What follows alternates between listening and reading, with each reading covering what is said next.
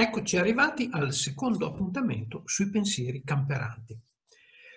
Ci siamo lasciati venerdì scorso con un compito che ti avevo affidato ed era quello di eh, osservare, di ascoltare, di andare un po' a scavare dentro di te per vedere quale poteva essere uno di questi pensieri camperanti che in questo momento sta limitando i tuoi risultati.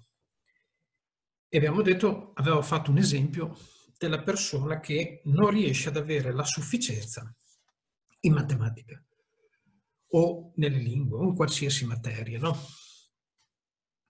Vediamo un po' in sintesi, perché se hai trovato e ti sei reso conto che c'è un pensiero, che c'è un tuo modo di essere che ti sta limitando, significa che hai già praticamente risolto la questione. Renderti conto che dentro di te c'è un pensiero, c'è una convinzione che ti sta limitando, la consapevolezza di questo fatto significa che sei già arrivato a metà della soluzione. Perché quando non ci accorgiamo che dentro di noi ci sono dei pensieri che stanno camperando, che sono fermi, non riusciamo a, a fare nessun tipo di cambiamento. E quindi essere consapevoli che c'è dentro di me un pensiero, un'idea, una convinzione che mi sta limitando, significa avere già trovato buona parte della soluzione. Il cambiamento personale, il cambiare questi pensieri, queste convinzioni limitanti, parte proprio dal fatto di rendermi conto che io ho una convinzione di questo tipo. La consapevolezza è fondamentale.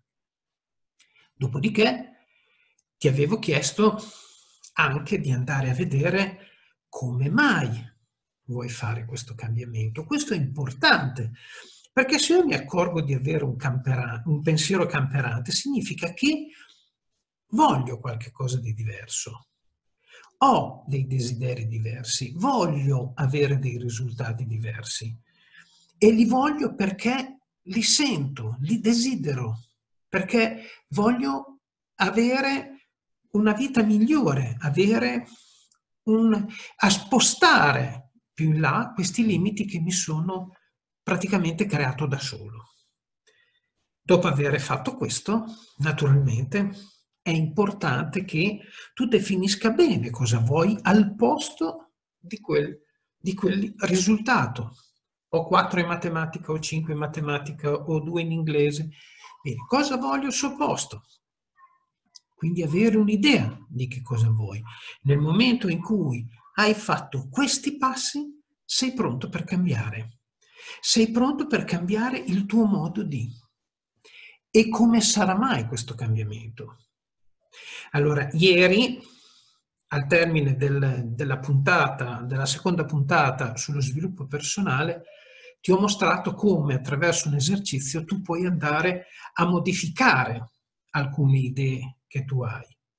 Bene, oggi ti dico che se tu compi, se tu porti a termine questi passaggi, diventi consapevole, ti chiedi come mai, quindi qual è il beneficio che tu hai finora ricavato dal fatto di essere di avere questa idea che ti protegge, che ti fa fare determinate, ti fa tenere determinati comportamenti, ti fa fare determinate cose, cosa ne hai guadagnato? E a volte non è bellissimo accorgersi del perché facciamo determinate cose, cosa ci guadagniamo, da cosa ci protegge, però è importante che tu faccia questo passaggio. Entra dentro e comincia piano piano capire il perché questo limite in un qualche modo ti protegge. Una volta che hai fatto anche questo secondo passaggio, decidi cosa vuoi. Voglio avere la sufficienza in matematica. perché penso di valere, di essere in grado di, quindi c'è tutto.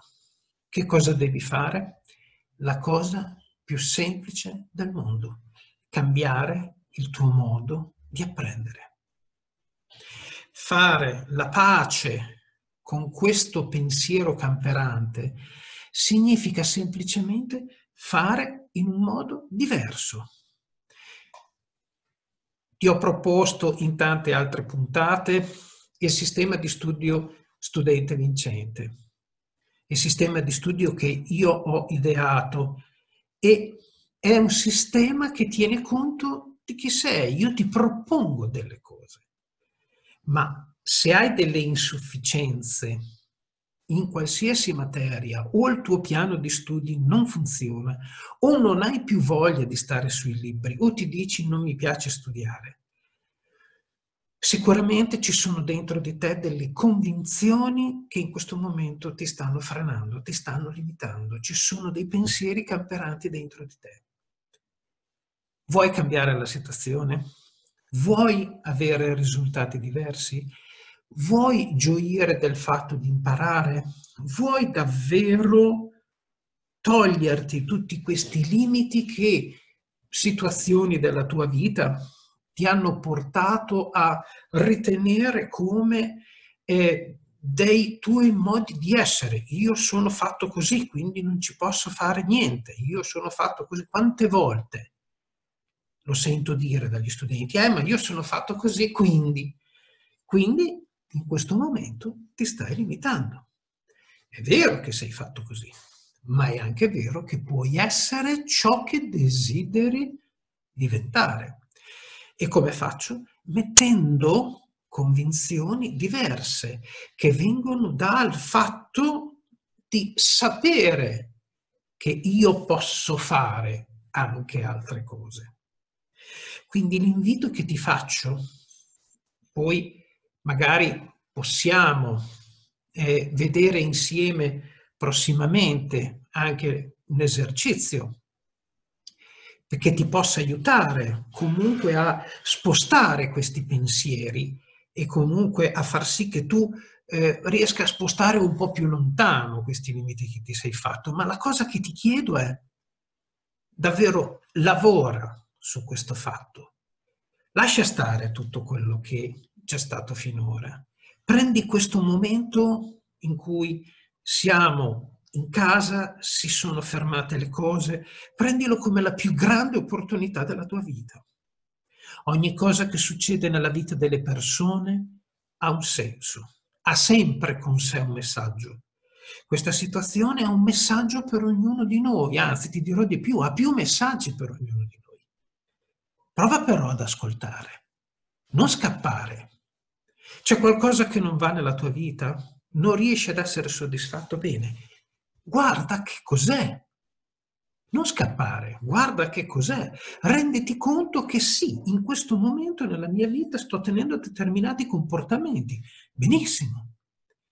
E allora nel momento in cui tu lo riconosci, si apre l'universo di fronte a te. Perché tu puoi cominciare a dire, ma io questa cosa, ok, la faccio, la faccio per questo motivo, va bene, ok, bene, l'accetto, mi è servito. Sono arrivato fin qui perché ho, ho, sono stato quel tipo di persona, ho fatto quel determinato tipo di azioni, bene, ma da questo momento in poi io decido che voglio altro. E come faccio a volere l'altro? Intanto lo decido, perché molte volte il cambiamento, gli obiettivi non si raggiungono perché non so come voglio andare. Non mi sono creato nella mente dei presupposti attraverso i quali poter raggiungere quell'obiettivo.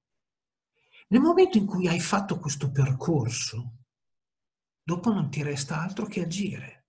E agire è fai cose diverse rispetto a quelle che hai sempre fatto.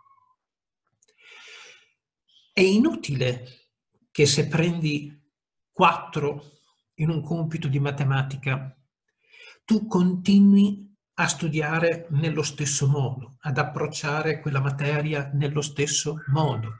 Non è aumentando il tempo che raggiungi il risultato, ma è cambiando la tua modalità. Se tu davvero hai studiato e non riesci ad arrivare alla sufficienza o prendi 4, significa che il tuo modo di apprendere è sbagliato. Smettila di dire che hai ragione. Non è aumentando il tempo. Riflettici. Allora, se io passo 10 ore perché mi preparo sulla verifica il giorno prima e poi la verifica non funziona, significa che quelle 10 ore non mi servono a nulla. Io ho bisogno di fare un lavoro più progressivo, che sia prestare più attenzione mentre sono in aula, cominciare a farmi un sistema di parole guida, di esercizi guida, di ripassare determinati argomenti con una scaletta ben precisa, di avere dei tempi di studio, di trovarmi un luogo importante a casa mia, non come un viandante. Molte volte non riusciamo ad applicarci nello studio proprio perché non stiamo in un posto di potere, perché non stiamo bene, perché ci sentiamo in prestito, perché finiamo di fare una chat che dura da un'ora o perché stiamo facendo un gioco come videogame, spegniamo, abbiamo la pretesa che il nostro cervello si metta lì, gli diamo un quarto d'ora e vogliamo che in un quarto d'ora faccia tutto. Impara a volerti bene, a darti valore.